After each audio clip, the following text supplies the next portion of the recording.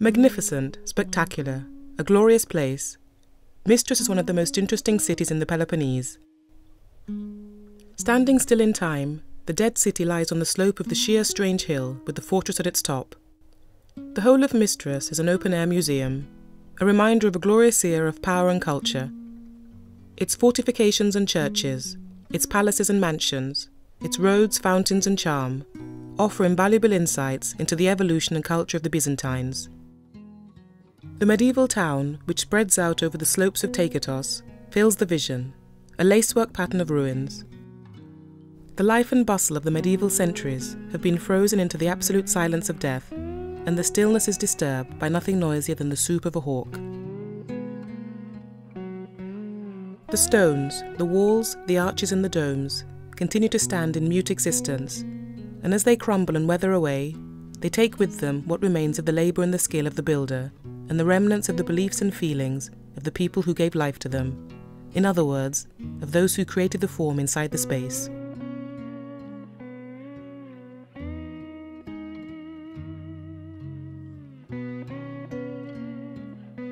Much of this medieval city is still standing.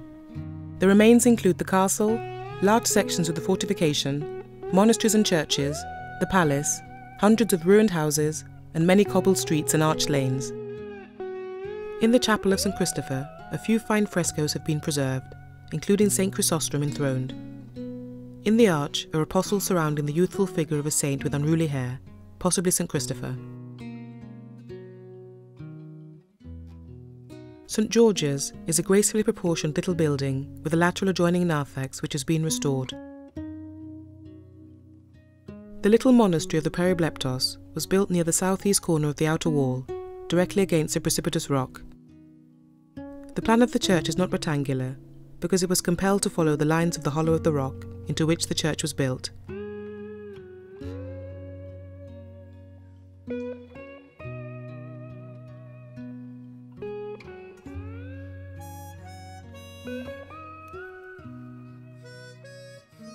This tower-like building has been called the refectory. The walls are decorated with medallions containing lions and fleur-de-lis.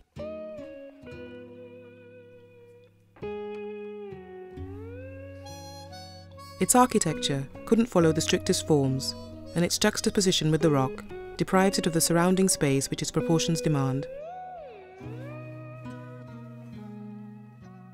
The iconographic arrangement of scenes on the broad surfaces offered by the walls and vaults of the church doesn't present the clarity and simplicity which we find in the older churches, such as the Metropolis, St. Theodore, and the Afendiko. Here, the three iconographic cycles, the Eucharistic, the feasts, and the Passion scenes, and the life of the Virgin are interwoven.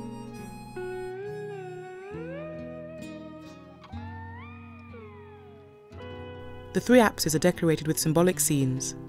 These include the Lamb of God, the communion of the apostles, the man of sorrows, and the divine liturgy, and the sleeping Emmanuel.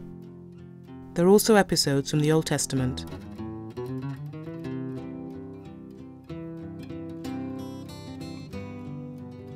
Here we see the Pantocrator, with prophets, the Virgin, and the preparation of the throne,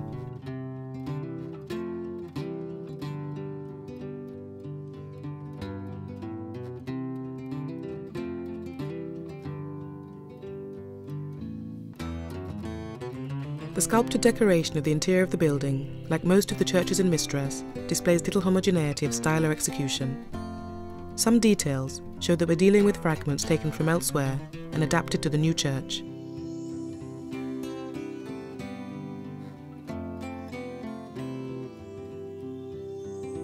Churches, monasteries, and houses rise from behind the walls. Higher up is the palace, surrounded by more churches and tightly clustered houses, Dominant on the summit stands the citadel. The monastery of the Pantanassa was built in a commanding position on a steep slope on the east side of the mountain. It's the best preserved of all the monuments in Mistras, and the nuns who inhabit it still keep alive the medieval tradition of hospitality. It was founded by John Frangopoulos, the chief minister of Despotate,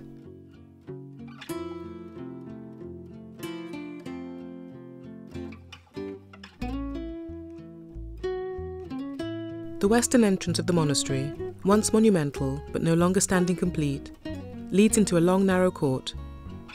From there, two steps ascend to a small artificial platform on which the church is built. The capital columns in the interior are of three kinds and are to be dated to different periods.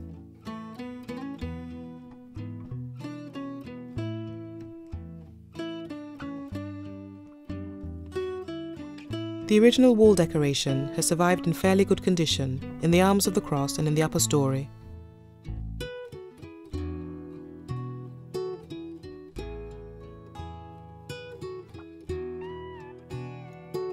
The scenes and groups of scenes differ from each other. They have one general characteristic which gives homogeneity to the paintings of the Pantanassa. This is a strongly emphasized mannerism, revealed both in the entire composition and in the details of the scenes.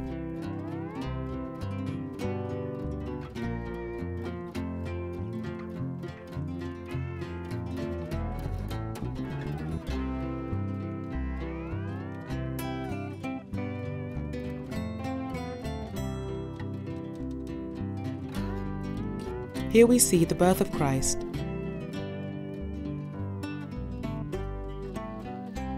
The paintings in the Pantanassa are of high quality. They can be dated with reasonable certainty to about 1430. These are a rare surviving example of late Byzantine art. Mistras was also the last centre of Byzantine scholarship to survive before the conquest of the Despotate by the Ottoman Turks in 1460. In the middle town stands the little church of the Evangelistria. The Evangelistria is the only church in Mistras without any recorded history. There are no documents, no inscriptions, and no portrait, either of its founder or of the person who rebuilt it. The carvings display a uniformity of style, which proves that they're the original decoration and integral with the church. The complex of buildings which makes up the metropolis lies along the northern inner ridge of the outer wall. The church hasn't preserved its original form, Nikephoros built it as a basilica, the traditional style of cathedral churches. The basilica was divided into three aisles by two rows of three columns each.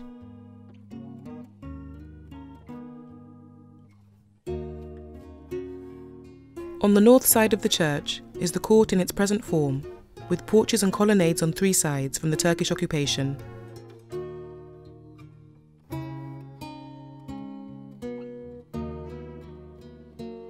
Outside is a narrow frieze with examples of sculptures of many different periods and styles.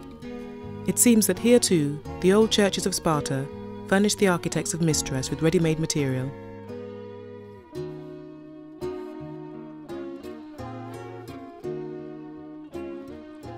The museum is in the north quarter of the metropolis, in the building in the west wing, and houses sculptures and illuminated manuscripts. In the metropolis, modifications were made rather ineptly, its haphazard proportions leaving a ponderous impression. The original interior decoration suffered badly. Matthew, Bishop of Lacedaemonia, treated the frescoes of Nikephoros, just as the Roman remodeler of the Theatre of Dionysus on the slopes of the Acropolis in Athens treated the frieze of the scene building. He decapitated the figures.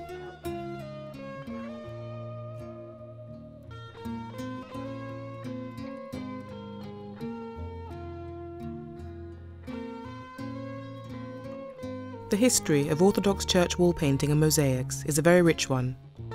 On the one hand, it reveals tremendous creativity in the church's response to architectural and pastoral changes. On the other hand, it shows how consistently it's been faithful to unchanging spiritual principles. The shapes and spaces created by a church building are an integral part of traditional regimes. It seems that to a large extent, temples have been designed from the inside out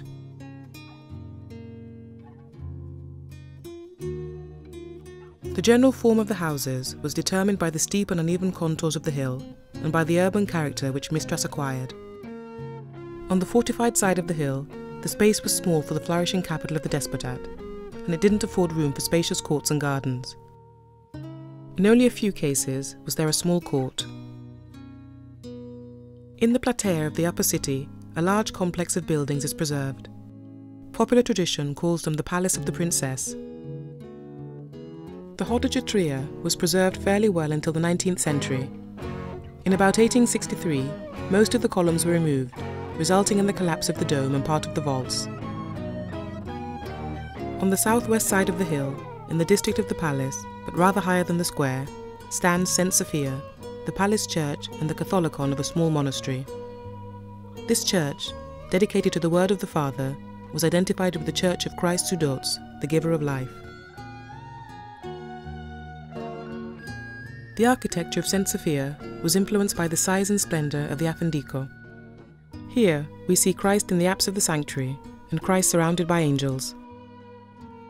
St. Sophia is distinguished by its tall narrow proportions, which emphasize its height, a feature unusual in Byzantine architecture.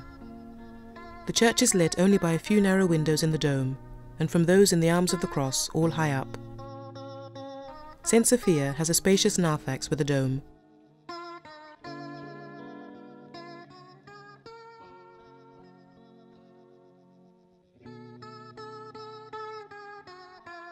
The citadel encloses a flat space and is defended by two circuits, an inner and an outer one. In this area, which is little lower but larger than the inner enclosure, are ruins of houses from the Turkish period. The hillside rock of Mistras drops almost vertically, making the citadel inaccessible. The northwest part of the plateau is higher and is surrounded by a second stronger enclosure wall. The citadel was the chief point of the defensive system and the city walls extended the area which it commanded.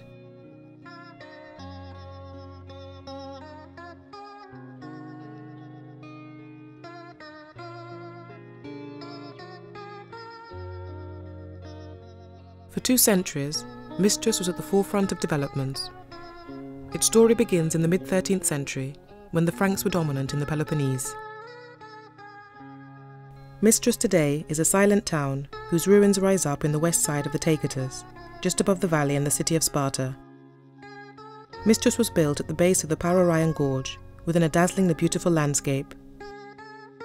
The Mistras ruins are divided into three sections the castle, the upper city, which contains houses and narrow roads surrounding the bishop's palace, and the lower city, which contains houses and monasteries safely protected behind the third wall. Mistras, the wonder of the Morea, was built as an amphitheatre around the fortress erected in 1249 by the Prince of Achaia, William of Villehardouin. Reconquered by the Byzantines, then occupied by the Turks and the Venetians, the city was abandoned in 1832, leaving only the breathtaking medieval ruins standing in a beautiful landscape.